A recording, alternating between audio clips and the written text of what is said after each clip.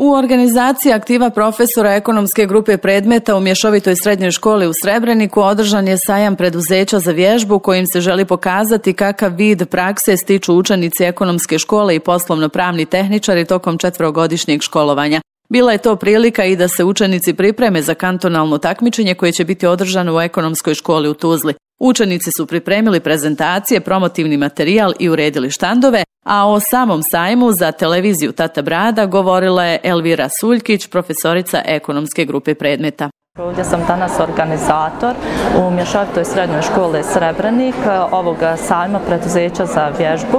Zajedno sa svojim aktivom ekonomske grupe predmeta mi danas organizujemo u cilju da pokažemo šta to učenici ekonomske škole rade i poslovno pravni tehničari, šta to oni rade u našoj školi, kakav vid prakse e, stiču tokom četvrogodišnjeg školovanja.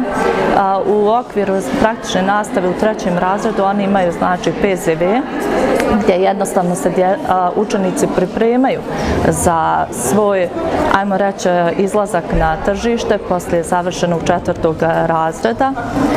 Tu se stiče još jedan nivo znanja i prezentuje ono što su učenici stekli u prvom, drugom i kao i trećem razredu.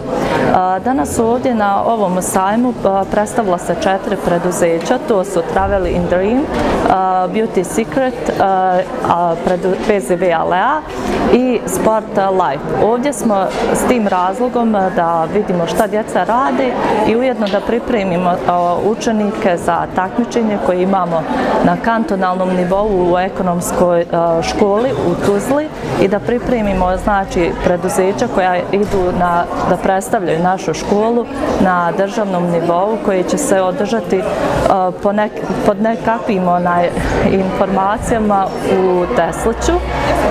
Tako da evo danas možete vidjeti ovdje kako su učenici prepremili svoj promotivni materijal, svoje prezentacije, uredili štandove, što je zadužene su dvije komisije koje će ocijeniti izgled štanda, promotivni materijal, poslovnu komunikaciju, a druga komisija ocijenjuje ono što, kako učenici uspostavljaju poslovnu saradnju, to jeste kako poslovno komuniciraju, tu je naš stručni žiri koji ocjenjuje znači ovo postignuto znanje za ovaj period.